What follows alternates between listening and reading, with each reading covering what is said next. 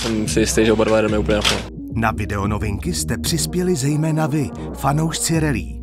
Děkujeme vám a také dalším partnerům, kteří nás podpořili.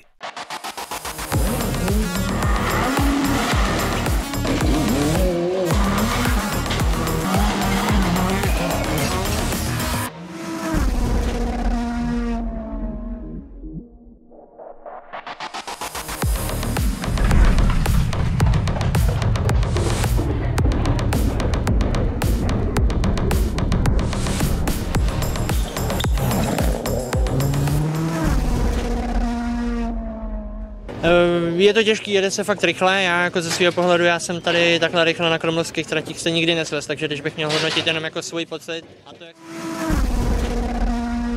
To byla jen malá ukázka toho, co dál uvidíte ve videonovinkách na herohero.co lomeno videonovinky. Tak si je předplaťte, budeme moc rádi.